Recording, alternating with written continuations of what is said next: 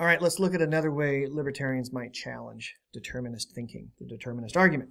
Um, so imagine this. Imagine a friend asks you for a recommendation uh, for a restaurant for them to go to for some very important celebratory moment in their life. It really is important to them that they have a restaurant that's going to be kind of top notch in every way.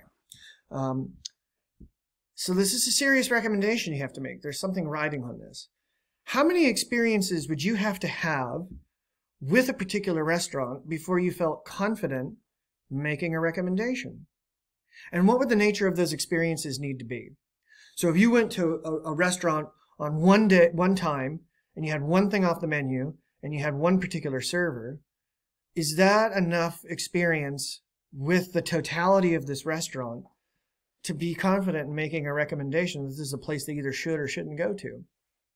How many experiences would you want to have with this restaurant before you felt really confident making this important recommendation? And what would you want those experiences to be? Okay. And you're probably thinking, well, I'd want to make sure that I went on different days of the week.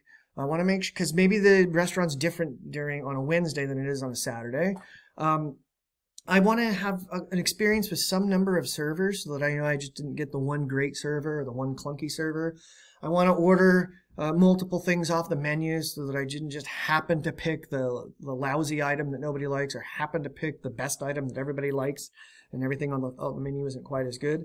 In other words, I want, I don't want to make a generalization about this entire restaurant's uh, quality um, too quickly. I want to take my time, gather some evidence, and I want to make sure that that evidence is not only sufficient, in other words, I've got enough experiences, but the things I've had experiences of with this restaurant, they're representative experiences. I've sampled the menu, I've had the different servers, I've gone on different days of the week. I can speak about the totality of this restaurant based on the number and types of experiences I had, and hopefully I will not be making a hasty generalization.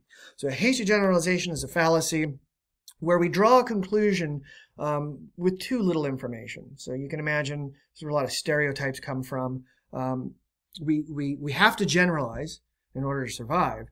Um, and sometimes we have to generalize really, really quickly because it's we're in an urgent or emergent emergency situation. But if we're not, we want to make sure that we collect information uh, that's sufficient and representative. And a libertarian is going to look at this premise and they're going to key on that word all. Okay? It is not the case that all of my thoughts, including my, all of my choices, are caused. Okay? And that word all is really important because it's a universal, uh, it's a universal quantifier. And what I mean by that is it leaves no exceptions.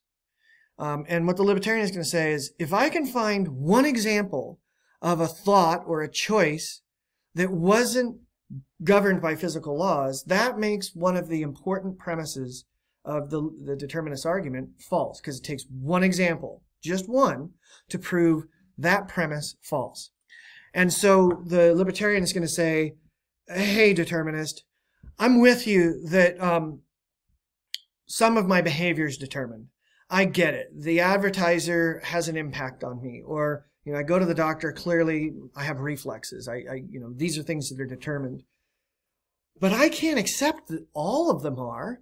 And the libertarian is going to say, and one of the reasons I can't accept that all of them are is that you haven't ever demonstrated that any of them are, right? You've, you've indicated this correlation between brain activity and thoughts or, or choices. So there's a correlation. But the libertarian is going to say, as you know, correlation doesn't necessarily imply causation.